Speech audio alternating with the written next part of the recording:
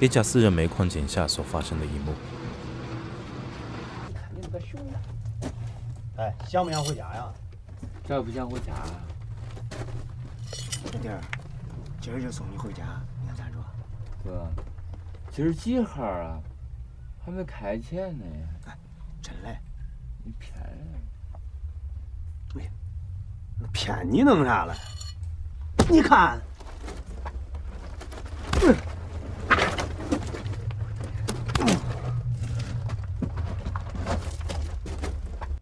突然，男人抄起手里的铁锤，朝他头上重重一击。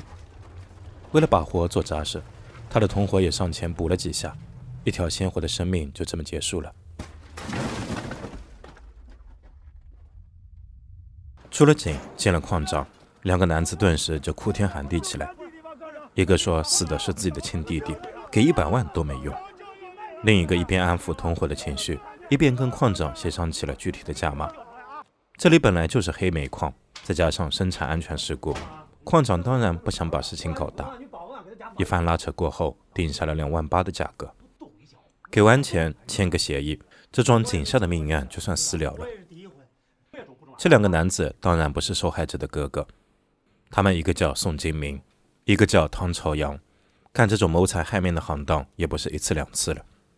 两个人有着明确的组织规划，就是骗取外地来这务工。人生地不熟的打工仔跟他们一起下井，并要求在申报身份时假装是他们的亲属，这样他们才好给照应。等这些倒霉的肥羊跟他们下井一阵子后，刚才那一幕就会上演。由于他们瞄的都是一些非法性质的私人煤矿，老板一般都会选择息事宁人，给钱了事。事后两个人五五分成，靠着这个法子，两个人游走全国的私人煤矿，榨取了不少钱财。算是靠吃着人血馒头致富了。由于当时的管理混乱，如此谋财害命的手段行使多次，居然也没人发现。两个人因此也就没有收手的意思。一来二去，倒也把这做成了一个固定职业。这次又成功诈了笔钱。两个人一回到城镇，就先把死者的骨灰冲进了马桶，把遗物也丢进了垃圾堆。处理完残留物以后，他们决定按老规矩犒劳一下自己。当晚。老唐和老宋去了夜总会，跟小姐激情了一个晚上。老唐全情投入，老宋却显得不太得劲。刺激过后，老宋觉得这钱花的还是挺亏，不如寄回家给儿子上学用。虽然同在一个团队，但在这方面，老宋和老唐的观念有些差别。老唐今朝有酒今朝醉，赚了钱顾着自己舒服。然而老宋每次干完活，除了手上的日常开销，其他都寄回了家里。他想把儿子以后上大学的钱都一口气存够，不让儿子再像自己一样遭没文化的罪。对于老宋的执念，老唐嗤之以鼻。还念书？他早不让自家孩子念了。现在啥都没用，就钱有用。两个人在饭馆没争出个高低，倒是被旁边电视新闻吸引了视线。里面播放着某某贪官落网的消息，据说是贪了几百万。两人听了不禁一番感叹。就算他们累死累活搞了这么多条人命，手头的数比这个还是差远了。搞来搞去确实没求用，还是这个有用。抱怨归抱怨，活还是要做。说来也巧，正在他们饭馆吃面的档口，门口来了个愣头愣脑的小娃儿，看模样一看就是刚出来打工的，简直就是完美的下手对象。老唐心中暗喜，赶紧上前对那小孩打量了一番。看他在几波招聘中都找不到机会后，老汤装作不经意地跟他攀谈了起来。一番打听以后，老汤知道这小孩叫袁凤鸣，今年十六，本来还在学校读书，但因为自己父亲半年前外出打工，至今未归，家里失去经济来源，如今辍学出来打工。老汤还是按照老套路，跟袁凤鸣提出了下井挖矿的机会，条件是他必须认宋金明做叔叔，当他的侄儿。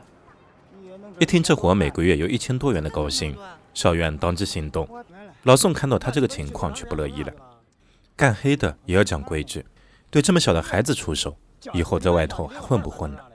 老唐丝毫没有老宋的顾虑，只觉得他是屁事多，现在找个合适的对象也不容易。你要是有办法，你自己找一个去。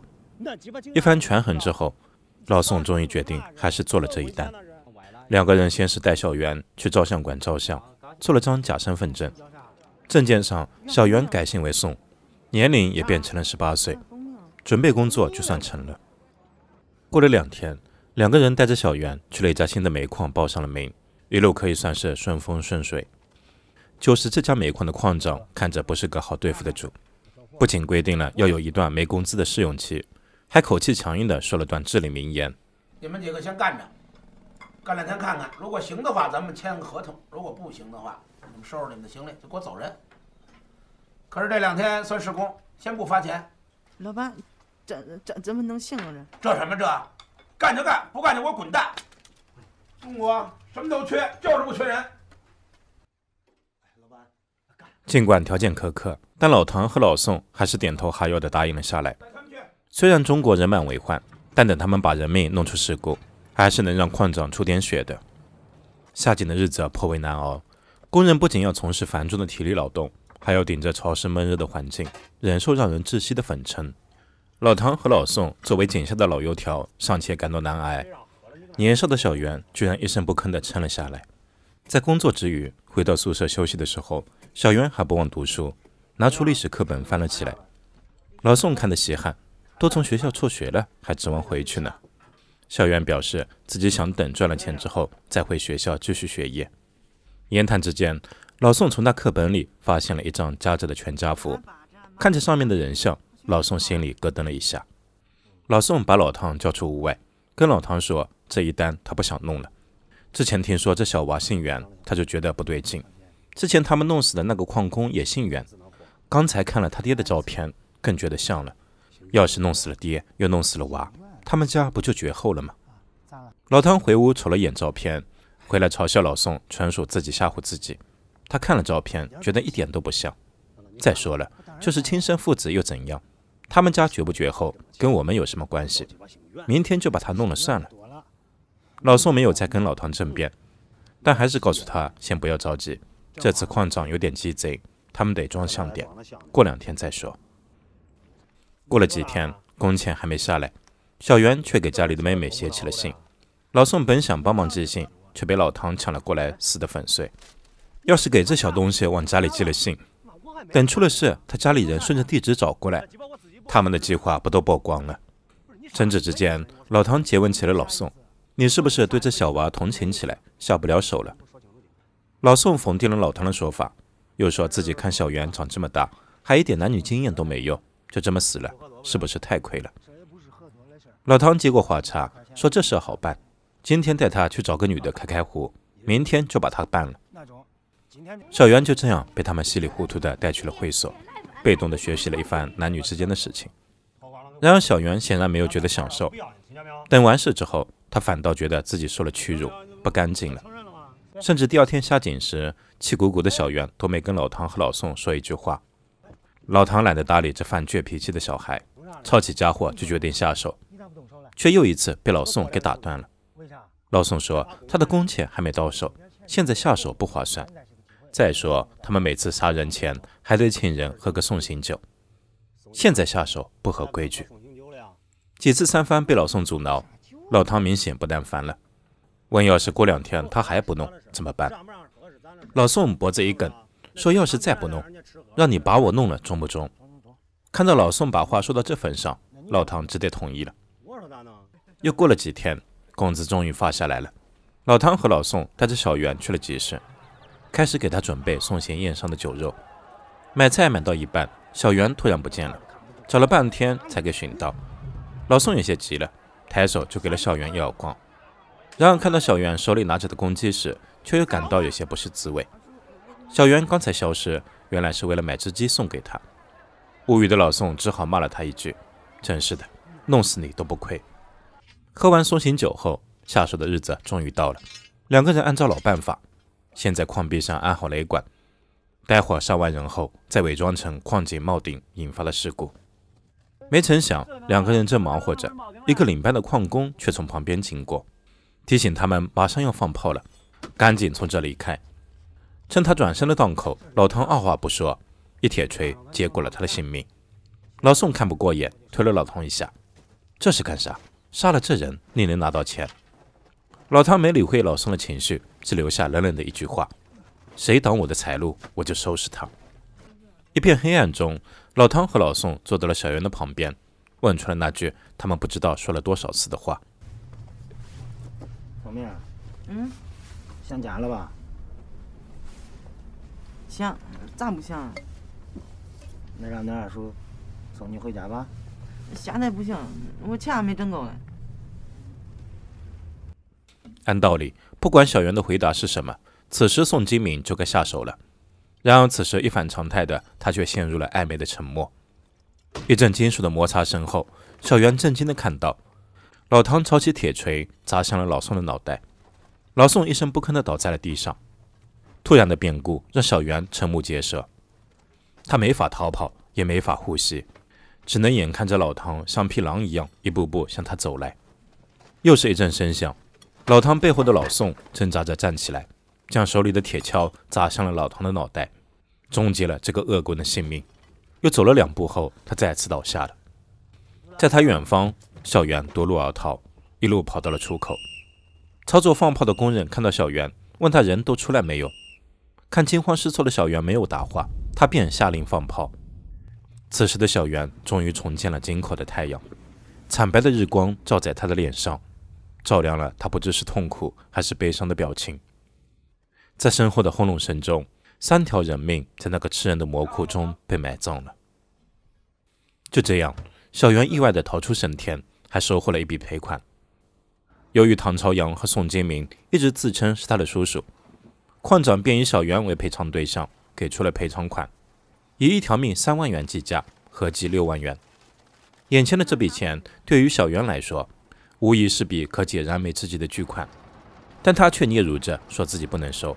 小袁心里知道，他并不真的是那两个人的亲戚，但由于宋金明之前让他无论如何都不要说穿身份的叮嘱，他又无法把真相说出口，只能支支吾吾了起来。小袁这般含糊的态度，矿长只觉得他是想趁机加价讹钱。他口气强横地告诉小袁，三万块一条命已经够多了，一毛也别想再加。看着小袁还在犹豫，旁边一直看着的大姐好心的劝他，还是赶紧拿钱签字吧。在旁人的劝说和压力下，小袁终于听话的签字了。第二天一早，小袁收拾行李启程离开了。在他身后的矿上，操作员熟练的把两具尸体塞进焚化炉，开始了火化。或许是感到了几分迷茫，还在路上的小袁再一次回头看向了身后的矿场，然而他能看到的。只有烟囱上冒出的滚滚黑烟。盲井是由李阳执导，王宝强、李义祥、王双宝等主演，于二零零三年上映的剧情电影。虽说这是部国产电影，但大部分中国人都无缘与这部电影在院线相见，因为众所周知的原因，这种电影无法在大陆过审上映，因此只能在香港地区和海外上映。虽说在大陆被封禁。但凭借不俗的品质，盲井还是在柏林电影节获得了金熊奖的提名，并摘得了银熊，算是墙里开花墙外香，在海外变相的收获了肯定。有些人不喜欢盲井这样的电影，更不喜欢他去海外参展，因为在他们看来，这种电影就是编造国内阴暗面，丑化中国来讨好外国人，属于动机不纯的作品。然而，盲井的剧情。并不是文艺创作者凭空捏造，而是来自中国的现实土壤。盲井原作小说《神木》的作者刘庆邦，本人就有下井挖矿的经历，有着丰富而切实的生活体验。而这部小说的剧情，更是直接来自于1998年在现实中发生的三起特大矿洞诈骗杀人团伙案：郑吉宽团伙、潘生宝团伙。与桂银团伙于电影里分工协作，在井下谋财害命的方式，分别杀死了一百一十人、二十八人、三十八人。相比电影，现实中他们的犯罪手段更加残虐，不仅会对陌生人作案，甚至亲朋好友都是他们眼中的主宰，一视同仁的加以戕害。电影里宋金明对小袁的不忍，可以说是一种文艺作品的善意了，现实本身就已足够不堪，电影并没有丑化。反而美化了现实，才得以让大众接受。然而，面对那些动摇主流价值却切切实实发生的真实，我们应该予以无视，以换取心安理得。还是如鲁迅所言，正是惨淡的人生和淋漓的鲜血，正是矛盾，才有解决矛盾的可能。如果那些罪恶和逝去的生命无法曝光于天日，那只是无声的湮灭于黑暗之中。那一切苦难和牺牲终将毫无意义。这是电影《盲井》，我们下期再见。